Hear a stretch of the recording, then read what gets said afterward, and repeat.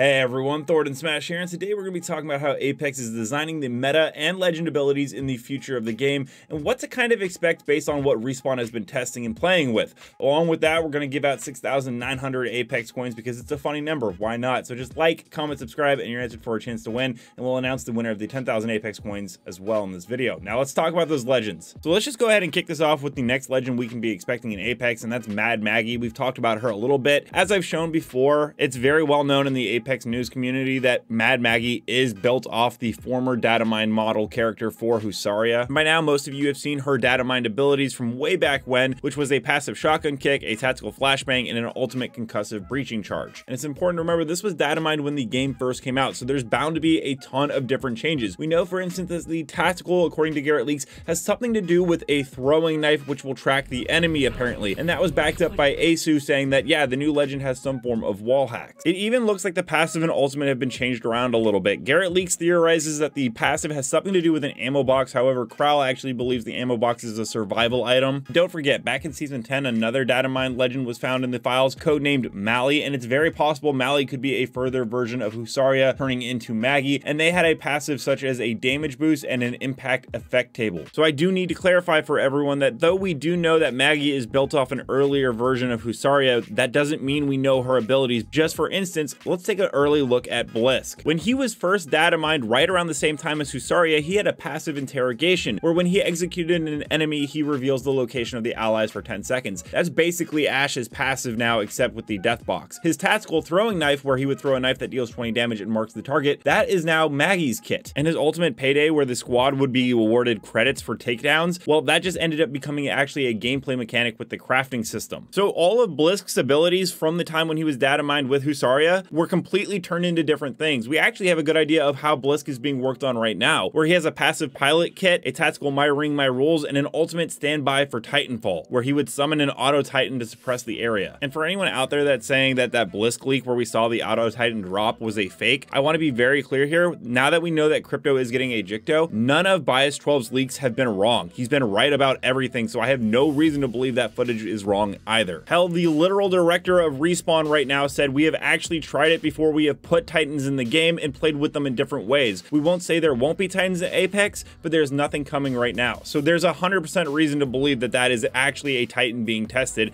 as they have said they are testing them. But Blisk is way down the line in terms of when we can actually expect him to come to the Apex game. There's actually a very good idea of what we can see next after Maggie, and that's Jericho, who actually was data mined way, way back, just like Husaria. However, he did appear in a developer video that was leaked during the Genesis Collection event. And Jericho seems to have some data mined abilities that seem to focus on the defensive side of Apex Legends, which we haven't seen in a while, with a passive on your six, where your ballistic shield protects your back when you're not actively using it, a tactical ballistic shield, a full body shield that protects you from incoming fire, and an ultimate shield breaker javelin, where you throw two electrically charged javelins that burn through enemy body shield. And we can actually look at some other legends, like say for instance Immortal, where some of their abilities actually get turned into gameplay mechanics, such as his passive, Hard to Kill, where when you get down, you can revive yourself. That became the gold knockdown shield. He also has some interesting abilities, such as a tactical shield charger where you unleash a cloud of nanites to charge your team's shields, and an ultimate Rise of the Phoenix where it restores your health and shields to full and gives nearby teammates 30 seconds of self-revive, takes 8 seconds to charge, which just sounds really, really broken. But what's really important about looking through that information is that though we may not see an exact duplicate of abilities from say Husaria to Maggie, we do know that Respawn doesn't really like to scrap things, and we usually see it either in a gameplay mechanic later on down the line, or it gets moved to a different legend. So all these abilities, very likely, we will see in the future. Do remember that things can always change in the development process. Nothing is set in stone until we actually see it in game or we get a trailer for it. But that in mind,